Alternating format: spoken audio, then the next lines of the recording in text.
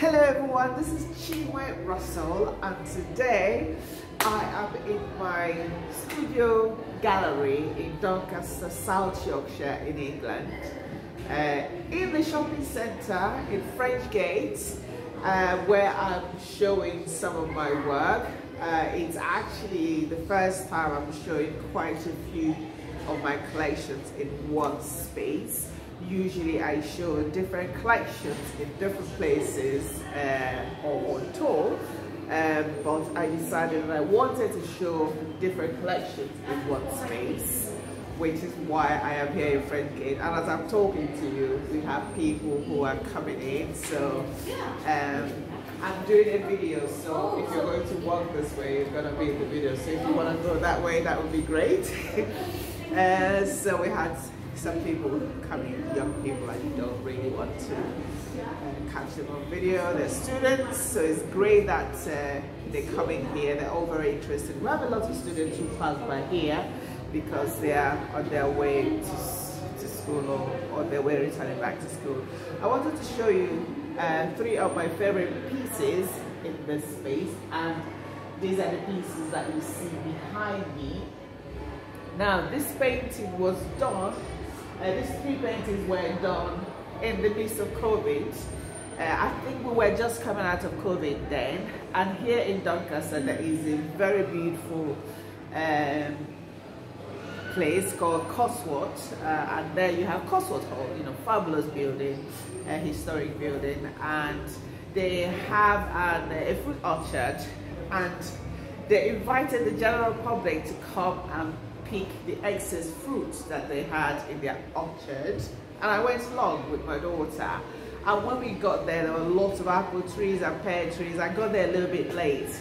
And I've always been fascinated by trees, you know. They're really these defenseless beings almost. And they stand there day in, day out, season after season, and they subject themselves to all manner of things and anyone can come and chop down a tree. And in fact when I used to go for walks uh, in the park around here and some uh, some uh, young trees had been chopped down the night before which is really very sad. So you can imagine these defenseless defenseless trees they just stood there and someone came and chopped them off. And so I have always felt very sorry for these trees. Um, and I have to apologize for the way I'm speaking because I'm, I'm, suffering from hay fever a lot. You know, this is the hay fever season, so my nose is totally blocked. Um, so going back to my story of Cusworth Hall, uh, we were invited to come and uh, help ourselves to fruits uh, there.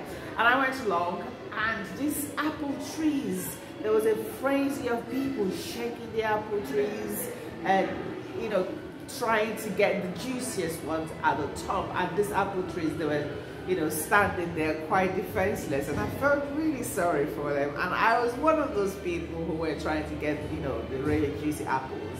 And I came home with a sack full. So when I went back um, that day it inspired me to start this composition, which is basically, uh, this time it wasn't the humans harvesting the apples, it was the apples harvesting the humans. So that visit to Cusworth Hall in Doncaster, which I recommend by the way, uh, inspired this three paintings.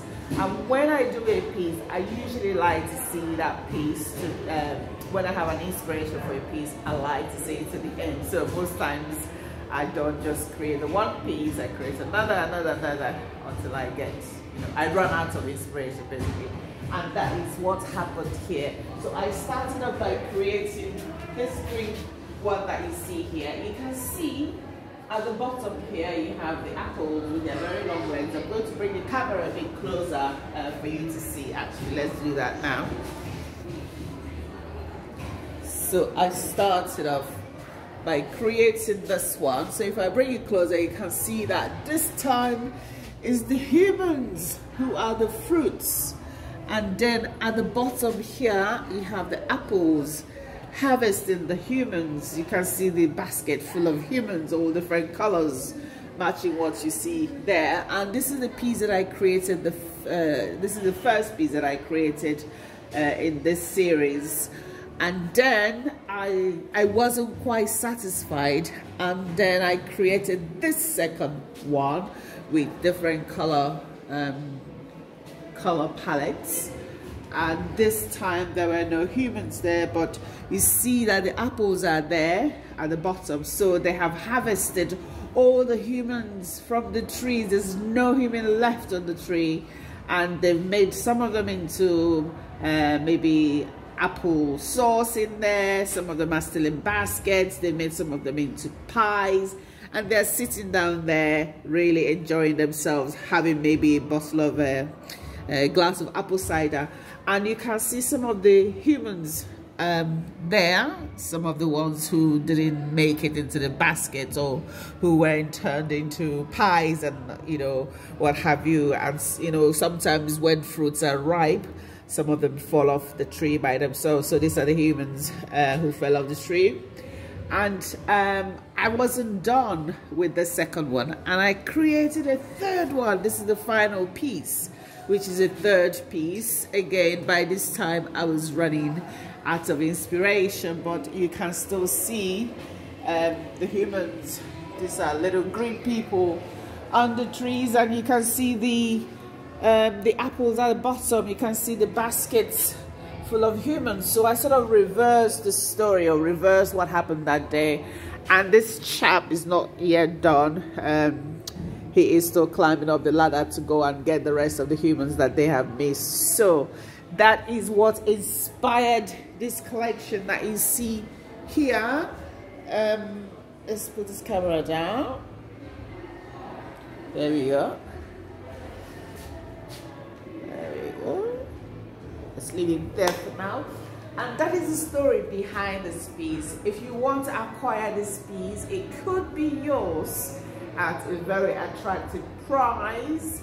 Um, just send me a message if you want to discuss acquiring any of the space you can acquire the whole lot but you're gonna need a very big wall or you can acquire them individually each piece here measures 121 by 91 centimeters and is acrylic on canvas um, if you want to acquire that let me know uh, over the course of the next few weeks, I will be showing you different pieces uh, that are hanging on the wall because it actually helps you to, to have an idea of how big they are. I'm a small person, I know that, but I often think I'm uh, very tall, you know, I often think I'm taller than I am.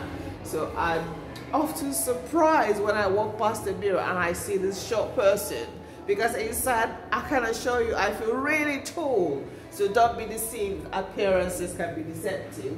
But look at how big this piece is when I'm standing there. So I'm quite uh, small when I stand next to this piece. Um, and there you go. So uh, contact me if you're interested in acquiring this piece. And uh, see you next time. Bye.